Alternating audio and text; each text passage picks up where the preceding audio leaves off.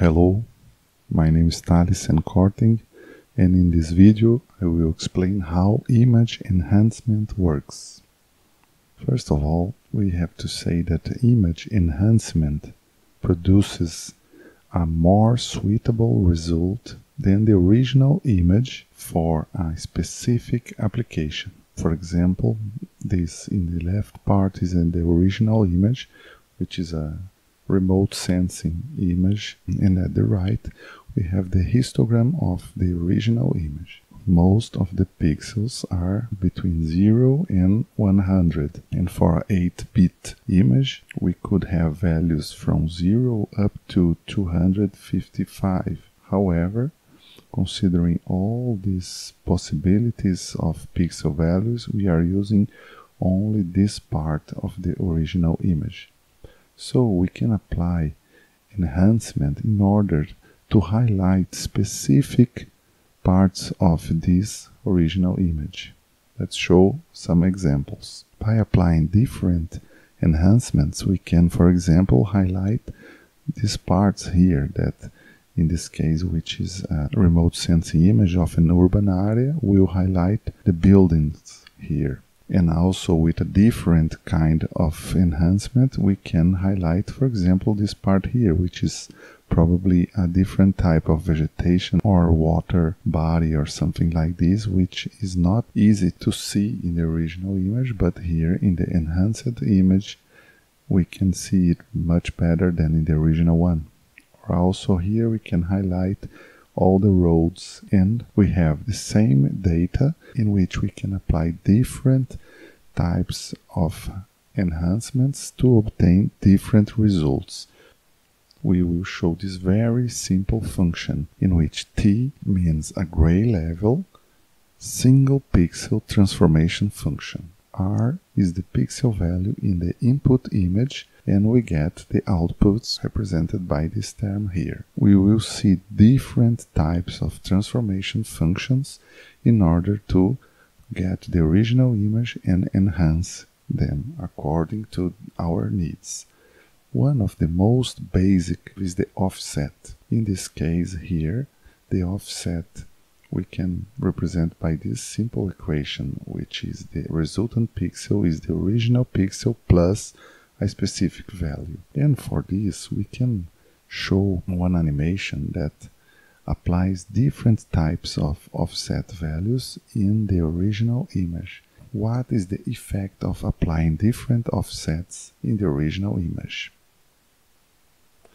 When we apply different offsets values in this image, we can perceive that the histogram of the output image goes from left to the right, but the shape of the histogram is exactly the same. This is why we get the same histogram shape in the beginning and at the end of the offset. The second very basic transformation that we can apply is the gain. And a gain is a value that we multiply by the original value.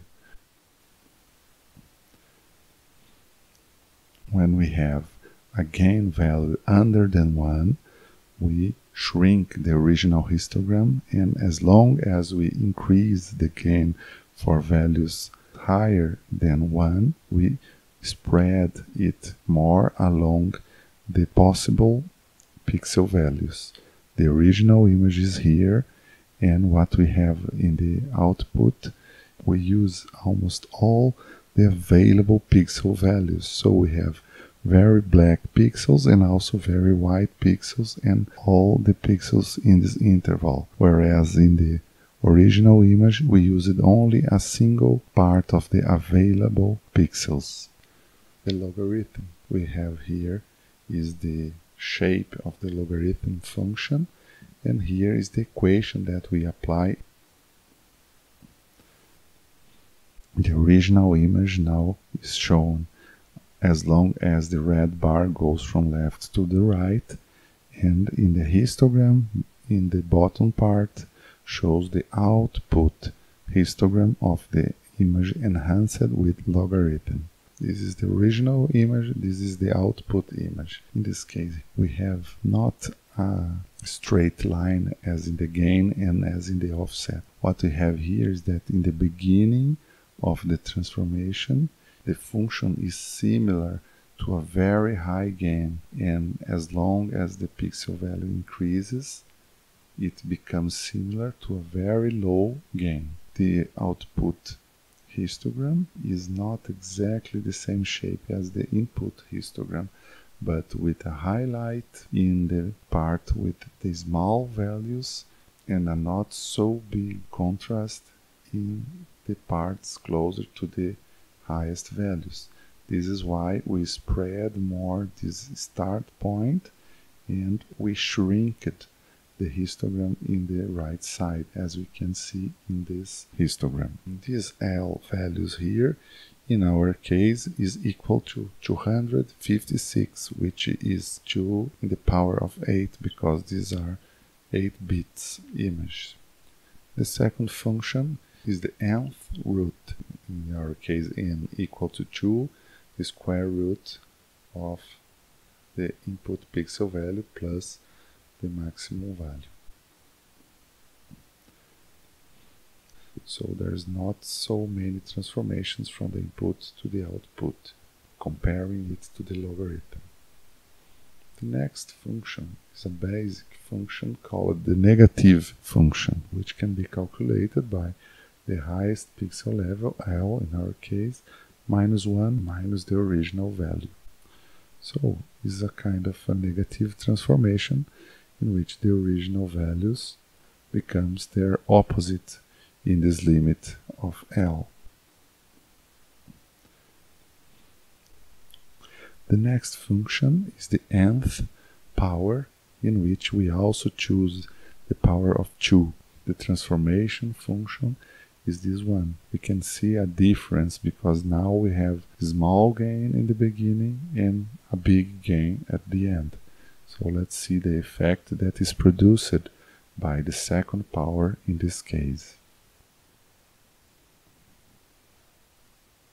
When we apply a small gain in the beginning, what we have is that we shrink the pixel values in this darker part of the image and we spread a little bit more in the higher part.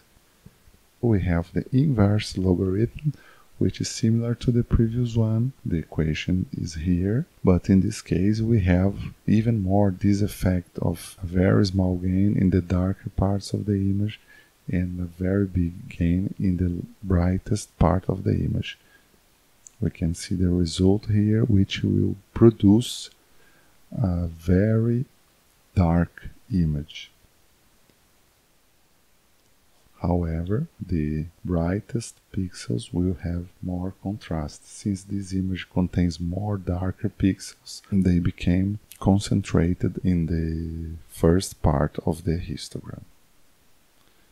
The main reference used to create this video is the well-known digital image processing book by Gonzalez and Woods. Please visit my GitHub in which I put all the latex equations used in this video, also the algorithms, source codes to understand the animations that I produced in this video and also the datasets you can find in my GitHub. Also, please like and share this video and subscribe to my YouTube channel. This is how image enhancement works.